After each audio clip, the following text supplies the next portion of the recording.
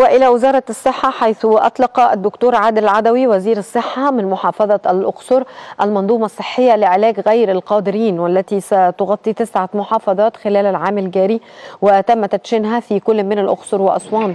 وقال الوزير خلال جولته إن المنظومة تهدف لعلاج المواطنين غير القادرين والأسر الأكثر احتياجا. تمام. قلت لك كده تاني يا مصطفى؟ أربع ساعات على السليم. مصطفى تخيل لك كده تاني حضرتك السليم ده سنتي كده. امسكوا بيدك كده. مهم يعني. المراتب دي بص ستك معمولة. بس خلق- لا أنا عايز اوريها لك. أنا لما لما جت اتنجدت المراتب دي تلم القطن القديم كله في المستشفى واتعمل بيه مراتب بلاستيك. تمام. تعال نشوفها في الصيف.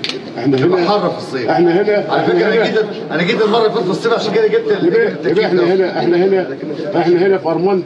يعني جنوب الصعيد أيوة. درجة الحرارة عندنا في الصيف بتوصل 50 طب و60 ما هو ده ده ده جديد أهو. أنا عايز أفهم حضرتك. أن المرتبة اللي نايم عليها دي بيجيب حرارة. بتجيب حرارة ما يعلمها قال الدكتور جمال عبد الرازق المدير العام للتأمين الصحي بالسويس إن إدارة مستشفى التأمين بمنطقة بور توفيق ستبدأ في توزيع أول دفعة تضم 60 عبوة من عقار سوفالدي آه، على المرضى اعتبارا من يوم الاثنين القادم على مدار الأسبوع بواقع ست حالات يوميا.